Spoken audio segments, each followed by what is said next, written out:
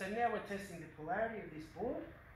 Okay, and mainly we're still working on this P1 circuit here.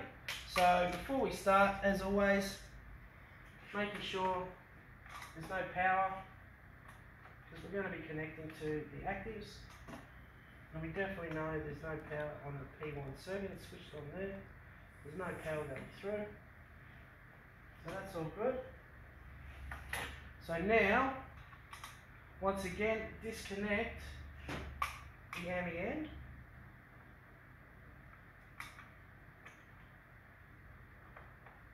And we've got this special device here. And if I test between the active on this, let's see what I get. Let me just put my screwdriver in my pocket. So I test between the active. I get a reading of about 10.4 ohms. And if I test between my neutral now,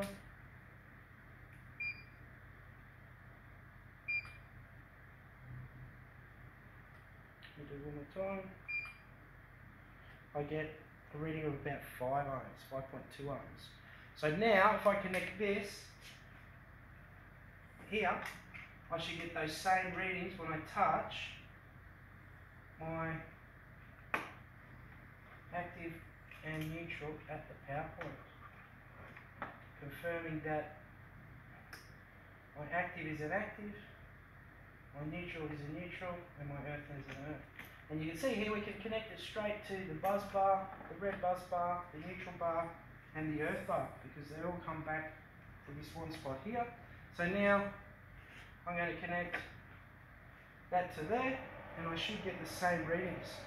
So now if I go to my active, I think it was about 10.4. So here I've got about 10.8. So with the resistance of the circuit, that is definitely my active. Now, if I go to the neutral, 5.4, which when we take into consideration the resistance of the circuit, that is definitely my neutral.